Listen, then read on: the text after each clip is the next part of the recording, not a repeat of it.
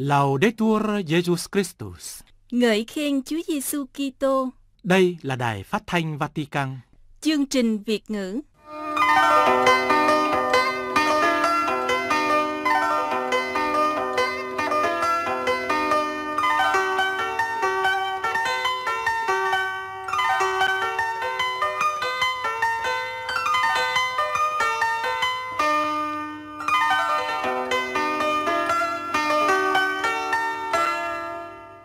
Toàn ban Việt ngữ Vatican xin kính chào quý vị thính giả. Hôm nay Chúa Nhật mùng 8 tháng Giêng, sau phần tin tức và phút cầu nguyện, Linh Tiến Khải sẽ giải đáp thắc mắc liên quan tới đền thờ Jerusalem, công trình xây cất của vua Salomon. Và chương trình sẽ kết thúc với mục mẹ Maria do Linh Tiến Khải phụ trách.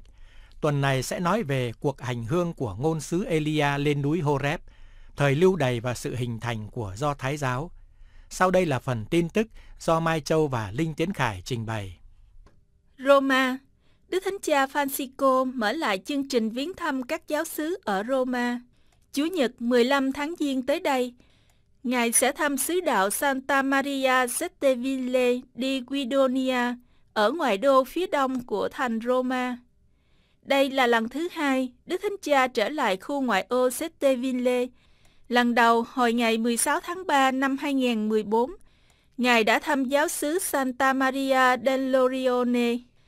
Trong năm thánh lòng thương xót, Ngài đã tạm ngưng chương trình thăm các giáo xứ Roma. Giáo phận này có 334 giáo xứ. Thánh Gioan Phaolô đệ nhị trong gần 27 năm làm giám mục giáo phận này, Ngài đã viếng thăm được hơn 300 xứ đạo.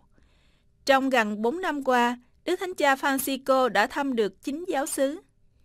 Vatican, Sở từ thiện của Đức Thánh Cha đã phân phát 50.000 cuốn sách bỏ túi với tựa đề Hình ảnh lòng thương xót cho các tín hữu tham dự buổi đọc kinh truyền tin trưa ngày 6 tháng Giêng vừa qua tại quảng trường Thánh Phêrô.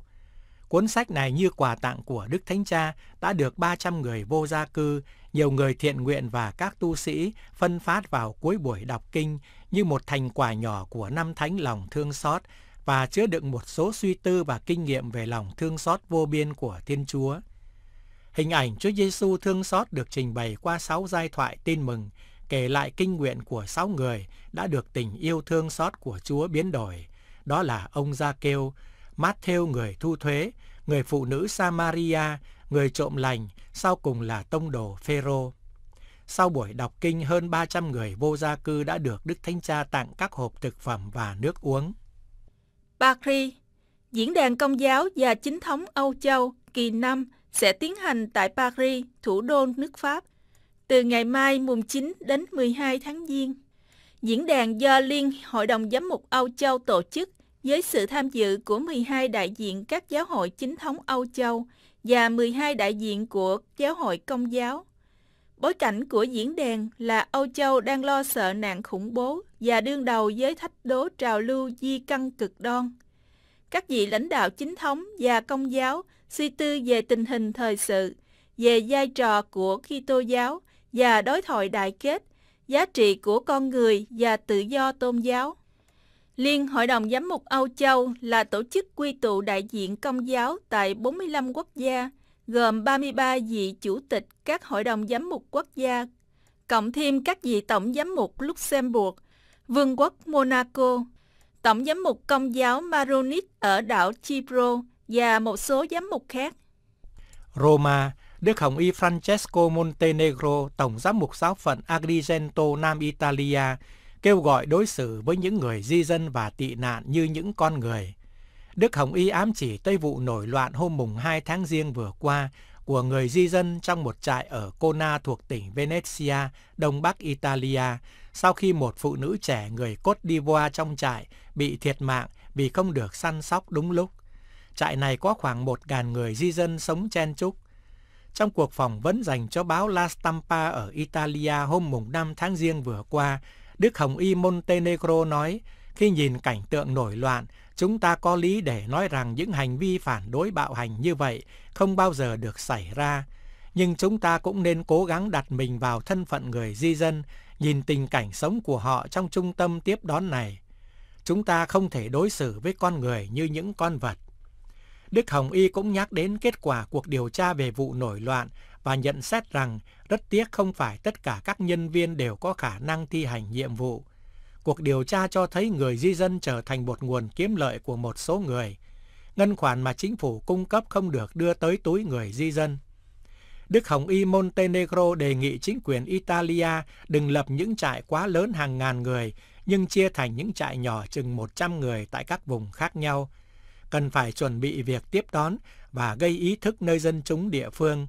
Cần giúp họ hiểu rằng những người di dân là một nguồn tài nguyên, là những người cần gặp gỡ. Họ rất quan trọng để giúp các công xưởng ở miền Bắc Italia hoạt động được. Và họ cũng có thể giúp săn sóc những người già những người di dân làm việc hợp pháp, đóng góp hỗ trợ hưu bổng của bao nhiêu người Italia. Trái lại, có những người tung ra những tin gây hốt hoảng làm cho người ta sợ hãi. Đề nghị của Đức Hồng Y đang được chính quyền Italia nghe theo và thi hành. Trả lời vấn nạn, trong số những người di dân cũng có những kẻ bất lương và làm một đe dọa khủng bố. Đức Hồng Y Montenegro đáp, có thể là như thế, nhưng cũng như nơi chúng ta cũng có những kẻ mafia khi người Ý di cư sang Mỹ. Về điểm này, cần canh chừng cảnh giác và đừng nên vơ đũa cả nắm. Đức Hồng Y Montenegro than phiền vì các nước Âu Châu khác bỏ mặt Italia một mình trước làn sóng người di dân và tị nạn. Ngài nói, thật là trầm trọng vì họ bỏ chúng ta một mình. Họ giả điếc và dường như chỉ quan tâm đến tiền bạc, đến các vấn đề tài chánh. Theo thông cáo do cơ quan Âu Châu bảo vệ biên giới, gọi là Frontex, công bố hôm 6 tháng Giêng vừa qua tại Warsaw, trong năm 2016, số người di dân và tị nạn tới Italia lên tới mức độ chưa từng có. Tổng cộng có 181.000 người đến nước này qua đường địa Trung Hải, tức là gia tăng 20%. Phần lớn họ đến từ Nigeria, tiếp đến là Eritrea, Guinea, Cote d'Ivoire và Gambia. Trong khi đó, số người đến các đảo Hy Lạp giảm 79% vì hiệp định giữa Liên hiệp Âu Châu và Thổ Nhĩ Kỳ có hiệu lực từ tháng 4 năm ngoái. Cả số người đến Liên hiệp Âu Châu qua đường bán đảo Balkan cũng giảm hơn 6 lần, tức là 764.000 người xuống còn 123.000 người. Cơ quan Frontex ghi nhận có 503.700 người vượt biên giới bất hợp pháp để vào Liên hiệp Âu Châu. Köln Đức Hồng Y Rainer Maria Wölnki, Tổng giám mục giáo phận Köln bên Đức, kêu gọi gia tăng công cuộc bài trừ các nguyên nhân gây nên làn sóng di dân và tị nạn từ Phi Châu. Tuyên bố hôm mùng 5 tháng Giêng vừa qua tại Köln, Đức Hồng Y Wölnki nói rằng nếu không thành công trong việc cải tiến cuộc sống của người dân ở Phi Châu, thì sẽ không loại trừ được làn sóng tị nạn và sẽ có thêm nhiều thuyền nhân chết tại địa Trung Hải. Cần có một chiến dịch quy mô để giúp đỡ các nước Phi Châu như kế hoạch Marshall sau Thế chiến thứ hai, giúp đỡ nước Đức bị tàn phá.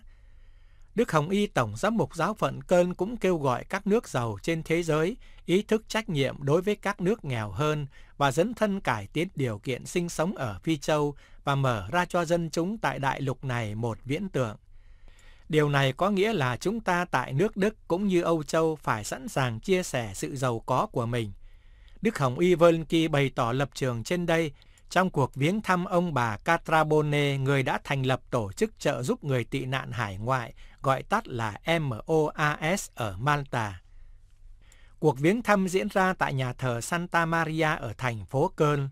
Tổng giáo phận này vẫn hỗ trợ tổ chức MOAS trong việc gửi một con tàu đi trên địa Trung Hải để cứu vớt các thuyền nhân.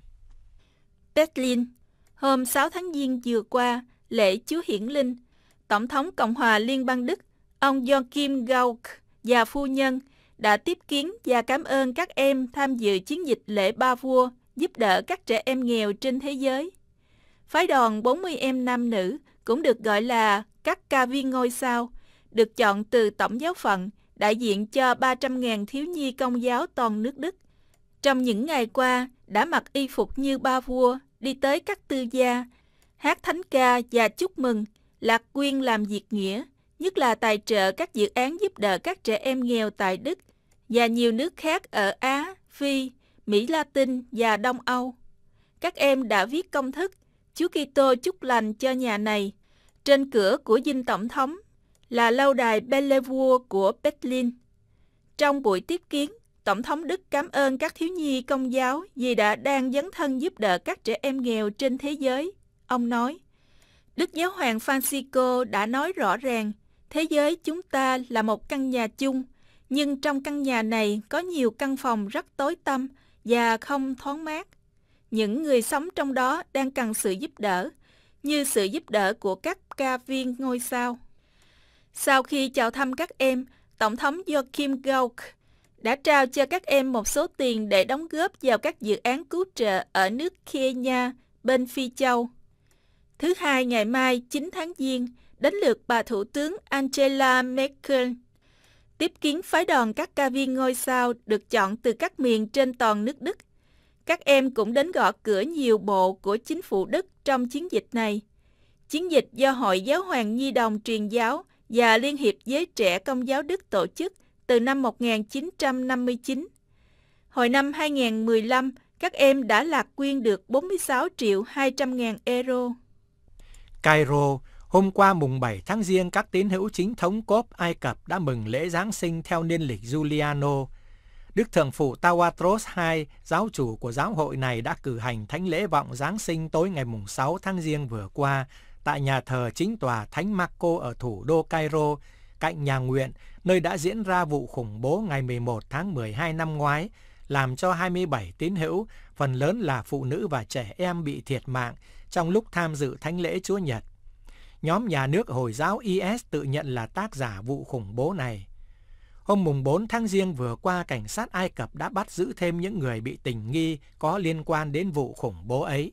Trong số 90 triệu dân Ai Cập, có 10 triệu là tín hữu chính thống cốp và 200.000 tín hữu thuộc giáo hội công giáo cốp.